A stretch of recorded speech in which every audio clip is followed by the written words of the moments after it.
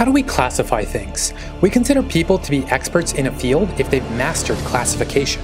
Doctors can classify between a good blood sample and a bad one. Photographers can classify if their latest shot was beautiful or not.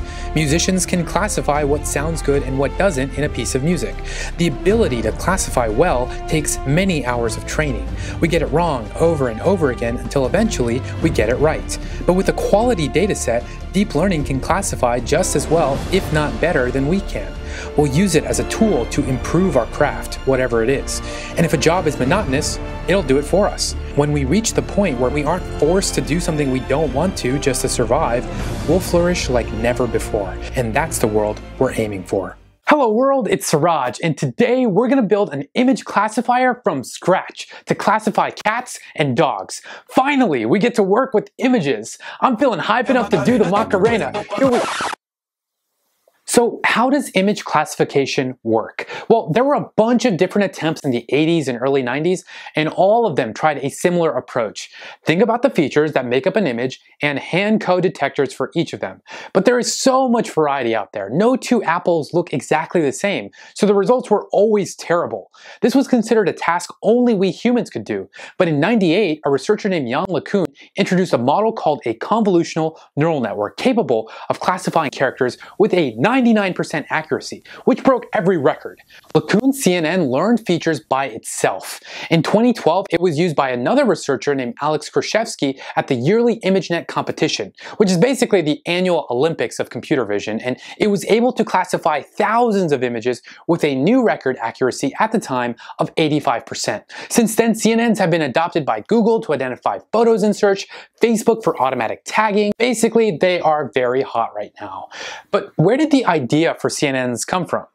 Hey yo, these nets all be inspired by our cortex. Every single thing we see enters the vortex. Some cells fire for lines and some for signs. Neurons in a column organize the line, and this helps us classify what we see. Cats, dogs, pigs, men, even broccoli. nets learn dope ass filters for features, classifying me as the king of teachers. We'll first want to download our image dataset from Kaggle with 1024 pictures of dogs and cats, each in its own folder. We'll be using the Keras deep learning library for this demo, which is a high-level wrapper that runs on top of TensorFlow. It makes building models really intuitive since we can define each layer as its own line of code. First things first, we'll initialize variables for our training and validation data. Then we're ready to build our model. We'll initialize the type of model using the sequential function, which will allow us to build a linear stack of layers so we treat each layer as an object that feeds data to the next one. It's like a conga line.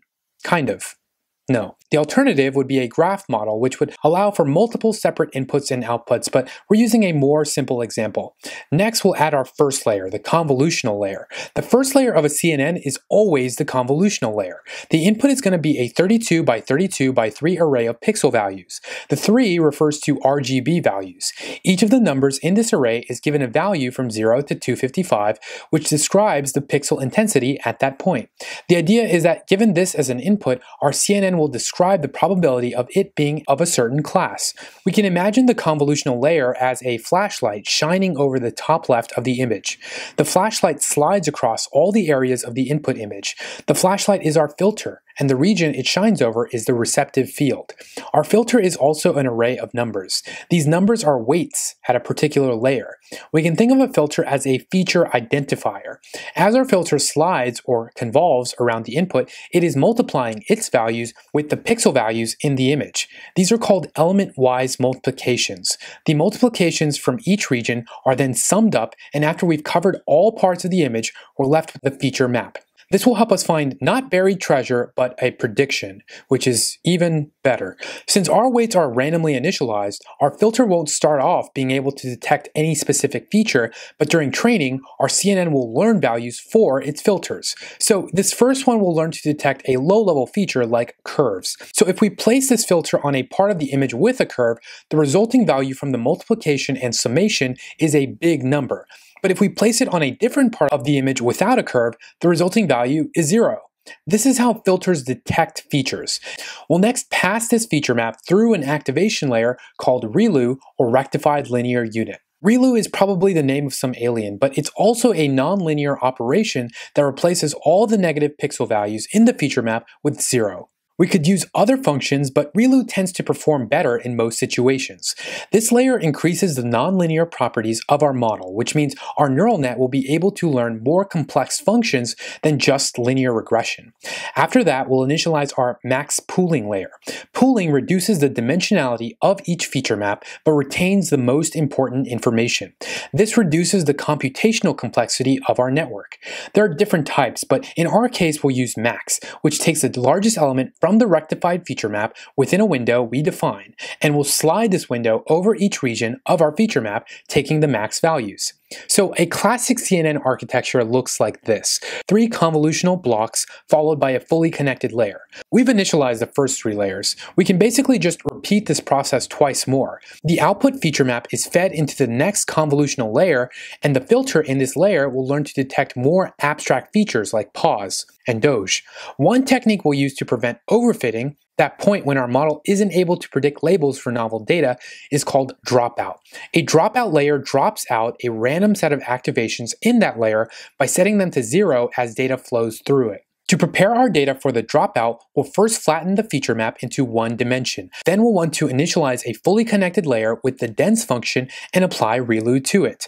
After dropout, we'll initialize one more fully connected layer. This will output an n-dimensional vector where n is the number of classes we have, so it would be 2. And by applying a sigmoid to it, it will convert the data to probabilities for each class. So how does our network learn? Well, we'll want to minimize a loss function which measures the difference between the target output and the expected output. To do this, we'll take the derivative of the loss with respect to the weights in each layer starting from the last to compute the direction we want our network to update. We'll propagate our loss backwards for each layer, then we'll update our weight values for each filter so they can change in the direction of the gradient that will minimize our loss.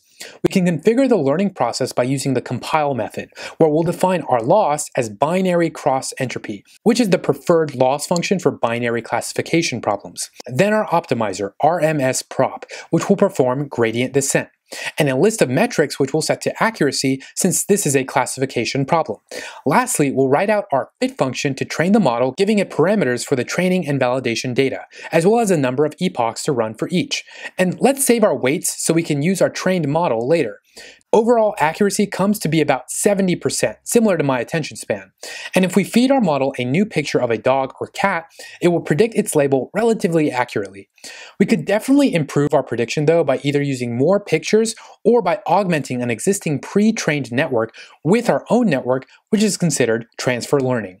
So to break it down, convolutional neural networks are inspired by the human visual cortex and offer state-of-the-art in image classification. CNNs learn filters at each convolutional layer that act as increasingly abstract feature detectors. And with Keras and TensorFlow, you can build your own pretty easily. The winner of the coding challenge from the last video is Charles David Blott. He used TensorFlow to build a deep net capable of predicting whether or not someone would get a match or not after training on a dataset and had a pretty sweet data visualization of his results.